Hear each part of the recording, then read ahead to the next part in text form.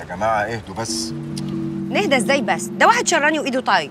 حسام ده عامل قلق كبير وكده هيشوشر على الشغل وزوزو داخله على مرحلة جديدة من حياتها.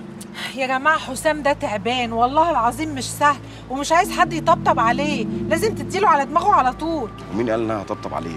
اللي بيني وبينه ما يخليش طبطب عليه تماما. بقول لك يا باشا كلمتين أبرك من 200 سيبوا لي وأنا هعمل معاه الغلط.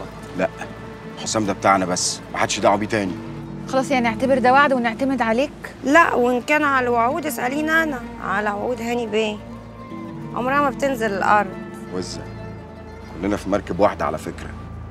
وبعدين أنا بني آدم تاني غير اللي أنت كنت تعرفيه. أهم حاجة دلوقتي إن أنت تصيده قبل ما يصيدك. صدقني ده مش سهل أبدا. ما تقلقيش. أنا عايزكم تعتبروا إن اللي عمله معاكم ده حلاوة روح. أدينا قاعدين مستنيين.